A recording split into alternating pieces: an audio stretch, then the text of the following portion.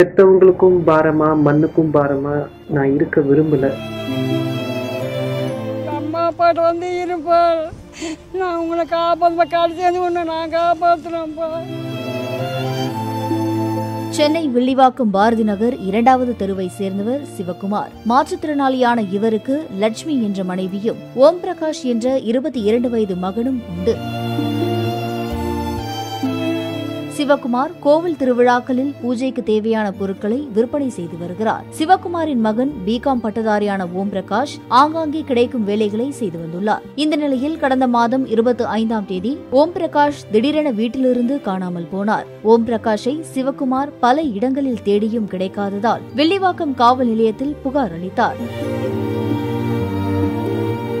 இதையடுத்து ஓம் பிரகாஷின் செல்போனை சிவகுமார் பரிசோதித்து பார்த்தபோது அதில் வீடியோ ஒன்றை ஓம் பிரகாஷ் பதிவு செய்துள்ளார். அந்த வீடியோவில் படித்த படிப்பு தொடர்பாக எந்த ஒரு வேலையும் கிடைக்கவில்லை எனவும் வேலை தொடர்பாக முதல்வர் தனிப்பிரிவிலும் புகார் கொடுத்திருப்பதாகவும் ஓம் பிரகாஷ் தெரிவித்துள்ளார். கடந்த ஓராண்டாக வேலை கிடைக்காமல் பெற்றோருக்கு பாரமாக இருப்பதாகவும் இனி பாரமாக இருக்க விரும்பவில்லை என்றும் வீட்டை விட்டு செல்வதாகவும் யாரும் தேட வேண்டாம் என ஓம் பிரகாஷ் வீடியோவில் கூறியுள்ளார்.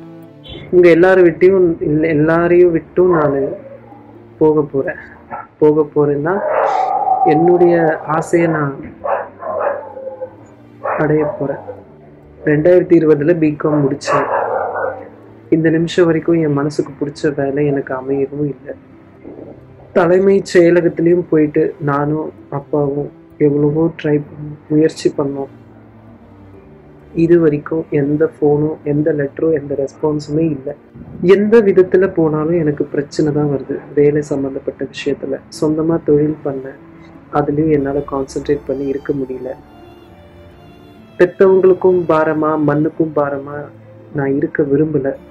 இந்த வீடியோவை சிவகுமார் போலீசாரிடத்தில் கொடுத்துள்ளார். வீடியோ ஆதாரங்கள் கொடுத்தும் பல நாட்கள் ஆகியும் வில்லிவாக்கம் போலீசார் சிஎஸ்ஆர் கூட தராமல் தனது மகனை கண்டுபிடித்து தராமலும் கடந்த ஒரு மாதமாக அலைக்கழிப்பதாக சிவகுமார் மற்றும் அவரது மனைவி லட்சுமி இன்று காவல் ஆணையர் அலுவலகத்தில் புகார் அளித்துள்ளனர்.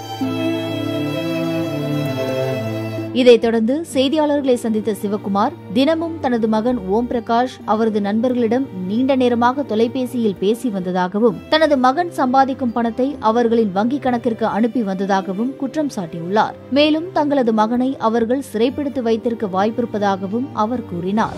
போலீஸில் சொல்லியிருக்கோம். அவங்க கூட ரொம்ப நல்லா ரொம்ப நேரம் ஃபோனில் பேசுகிற பசங்க ஒரு ரெண்டு மூணு பேர் இருக்கிறாங்க. அவங்க நம்பர்லாம் எடுத்து போலீஸில் கொடுத்தோம். அவனுங்களையும் வர வச்சு விசாரணை பண்ணாங்க. விசாரணை பண்ணிவிட்டு அவங்க அட்வொகேட்டோட வந்துட்டு ஏதோ சொல்லிட்டு போயிடுறாங்க. அதுக்கப்புறம் அவங்க மேலே நடவடிக்கை எதுவுமே எடுக்க மாட்றாங்க சார் நாங்கள் கடந்த ஒரு மாதமாக போயின்னு வந்துன்னு இருக்கோம் சார் வேலைக்கு ஒரு மகேந்திரா டெக்குன்னு ஒரு ரெண்டு மாதம் வேலைக்கு போவார். அதுக்கப்புறம் அது ஒரு ரெண்டு மூணு மாதம் செய்வார். அந்த ஃப்ரெண்டுங்களுக்கு அவன் ரொம்ப பழகுற ஃப்ரெண்டுங்களுக்கு அந்த அக்கௌண்ட்டில் பணம் போட்டுடுறான். அதுக்கோசம் தான் அவன் வேலைக்கே போயிருக்கான். மேலும் ஓம் பிரகாஷின் நண்பர்களிடம் போலீசார் நடத்திய விசாரணையின் போது ஓம் பிரகாஷ் திருநங்கையாக மாறப்போவதால் வீட்டிற்கு செல்ல அவர் விரும்பவில்லை என கூறியதாக போலீசாரிடத்தில் தெரிவித்துள்ளனர். திருநங்கையாக மாறினாலும் பரவாயில்லை தங்கள் மகனை கண்டுபிடித்து தர வேண்டும் என்று பெற்றோர் கண்ணீருடன் கோரிக்கை விடுத்துள்ளனர். நான் வந்து ஒருத்தி பாரமாக இருக்க விரும்பலை மண்ணுக்கும் பாரமாக அம்மாவுக்கு அப்பாவுக்கும் பாரமாக இருக்க விரும்பலை நான் போகிறேன் என்னை தேடாதீங்க என் இஷ்டத்துக்கு நான் இருந்துக்கிறேன்னு வீடியோ பண்ணியிருக்கேன். பிரகாஷ் நீ அம்மா அப்பாட்ட வந்து இருப்பா. நான் உங்களை காப்பாற்ற கடைசி ஒன்று நான் காப்பாற்றுறேன்ப்பா என்கிட்ட வந்து இருப்பேன் எதுவும் மாறி விட பிரச்சனை இல்லை சார் என் பையனுக்கு வேணும். வந்துருப்பா. எனக்கு வேணும்ப்பா நீ.